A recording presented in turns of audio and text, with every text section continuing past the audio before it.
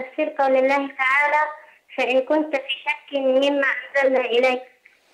يروى أن النبي قال لا أشك ولا أرتاب.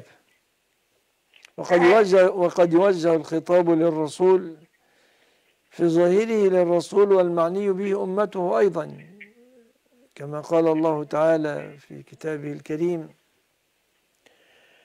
وقضى ربك ألا تعبدوا إلا إياه وبالوالدين إحسانا إما يبلغن عندك الكبر أحدهما أو كلاهما. الخطاب في صورته للرسول لكن مراد أمته لأن أبوا أبوي الرسول مات وهو صغير عليه الصلاة والسلام.